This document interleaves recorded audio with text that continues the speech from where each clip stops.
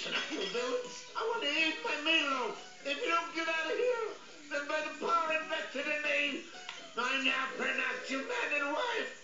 What is going on in here? You may kiss the bride.